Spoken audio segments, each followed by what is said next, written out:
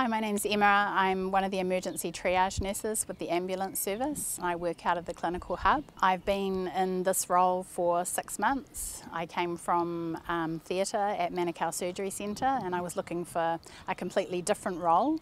Um, it's strange not having the patient right there.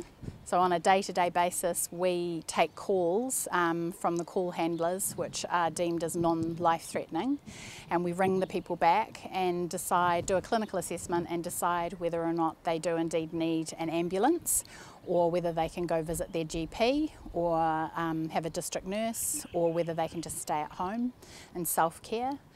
Um, the thing I like best about this role is that no day is the same. Uh, you can go from having an eight month old baby to a 102 year old person.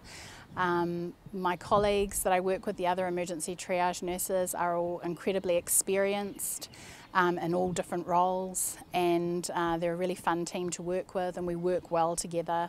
Um, and yeah, it's, it's really great, and I enjoy working for Homecare Medical.